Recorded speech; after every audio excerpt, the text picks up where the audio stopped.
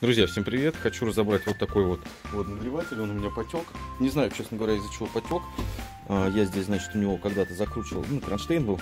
Вот, может быть, я, конечно, в корпус, да, прокрутил. Ну, работал он с этим кронштейном лет 5. Поэтому я думаю, в принципе, скорее всего, он просто где-то проржавел и потек, потому что текло тоже конкретно отсюда. Ну, по всей видимости, тоже и отсюда. Если я, конечно, сюда закрутил, то я полный долдон. Вот, хотя здесь чуть-чуть совсем было закручено, ну, просто чтобы он как поддерживался, да, когда сюда не ездил. Поэтому я думаю, что не из-за этого. Мы сейчас его разберем.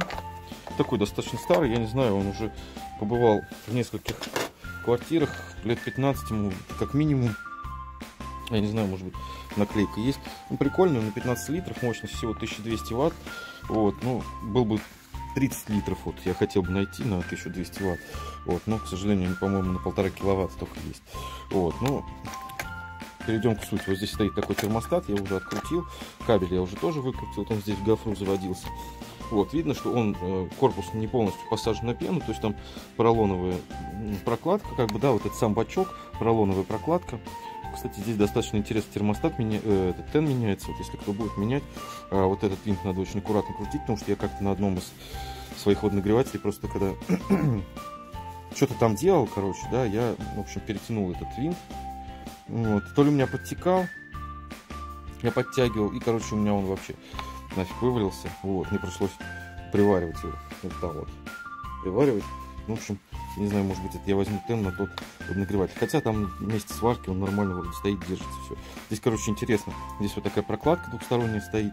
И, в общем, чтобы темп поменять, ее надо, короче, вот этот ТНТ ослабляем, ее снимаем, и тогда уже тент вылазит. То есть здесь как бы э, сам вот этот металл, он не касается корпуса, да, через прокладку. Ну, на стиралках также поменял, в принципе, знает. Вот здесь такой интересный термостат стоит, э, хорошенький, с каким-то выключателем, но я так понимаю, выключатель не задействован.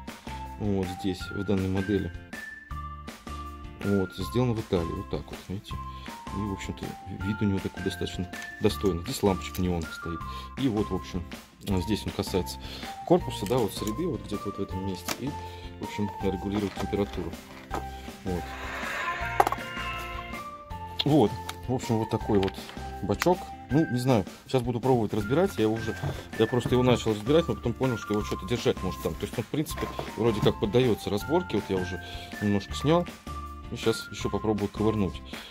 Вот. Ну, если разберется, то разберется. Если нет, вот, кстати, да, год, я не знаю, здесь э, не написан, да, наверное. Год не написан производство. Интересно просто посмотреть, когда куплен был. Так, ну вот, в общем, как он выглядит внутри. А, значит, я добрался до того места, где у меня саморез был вкручен.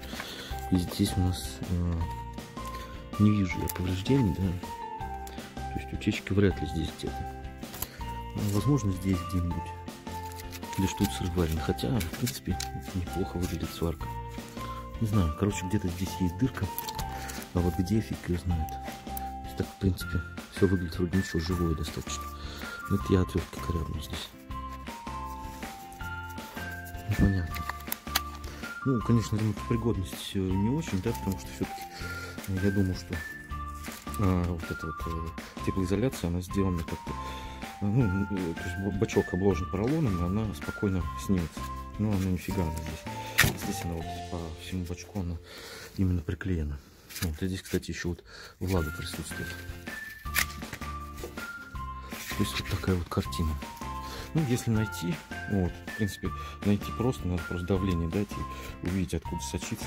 Вот. Металл, в принципе, ну, вроде крепкий, то есть я постучал.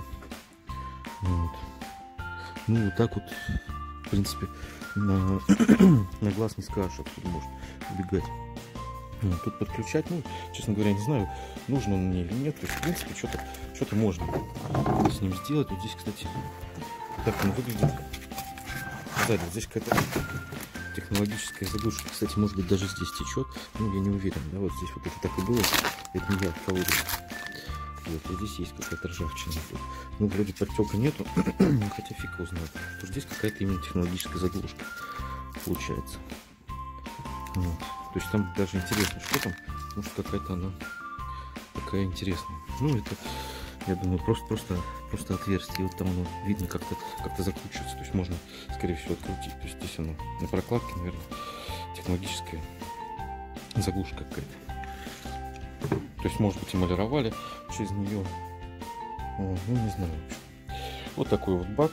Все, отслужил свое. Ну, его можно использовать, ну, допустим, без чего-нибудь, да, то есть, как емкость какую-то для воды, допустим, для нагрева. Единственное, только ржавый. Его промыть, да, вот это найти, и можно его где-то использовать как накопитель там, для воды, да. Ну, допустим, там, под садовый душ какой-нибудь, там, что-нибудь такое.